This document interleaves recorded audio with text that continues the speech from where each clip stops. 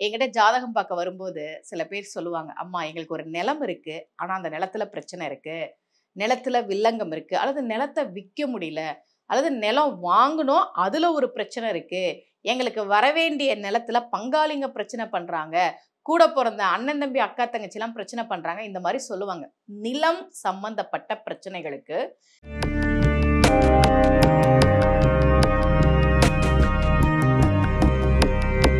ரகசிய உண்மைகள் சேனலை பார்த்து கொண்டிருக்கும் உங்கள் அனைவருக்கும் சுமதி ஸ்ரீயின் அன்பு வணக்கம். இந்த பகுதியில் நம்ம நிறைய பரிகார முறைகள் பரிகார தலங்கள் ஆன்மீக கேள்வி பதில்கள் ஆன்மீக சந்தேகங்கள் என்ன பிரச்சனைக்கு என்ன மாதிரி வழிபாடு பண்ணணும்னு தொடர்ந்து பார்த்துக்கிட்டு இருக்கோம். நான் ஏற்கனவே உங்களுக்கு வேற வேற பதிவுகளில் பரிகாரம் சொல்லியிருக்கேன் அந்த பிரச்சனை தீர்றதுக்கு. ஒருவேளை ஒரு நிலம் வாங்கினோம் அதில் பிரச்சனை ஆயிடுச்சு இல்லை நிலத்துல வில்லங்கம் இருக்குது பத்திரத்தில் பிரச்சனைலாம் சொல்லுவாங்க.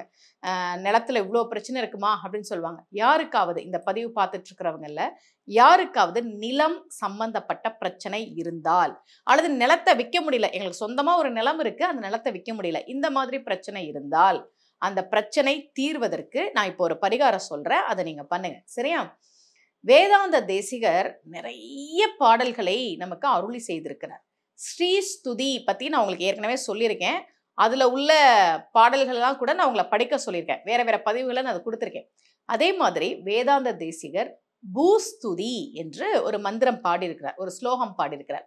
அதுல இருந்து ஒரு ஸ்லோகத்தை நான் உங்களுக்கு டிஸ்கிரிப்ஷன்ல கொடுக்குறேன். யாருக்கெல்லாம் நிலம் சம்பந்தப்பட்ட பிரச்சனைகள் இருக்கிறதோ அவர்கள் நம்பிக்கையோடு இந்த ஸ்லோகத்தை சொல்லுங்க நிச்சயமாக பலன் கிடைக்கும். இதே போல மீண்டும் ஒரு பரிகார முறையோடு உங்கள் அனைவரையும் சந்திக்கிறேன். அனைவருக்கும் அன்புடன் ஸ்மதி ஸ்ரீ.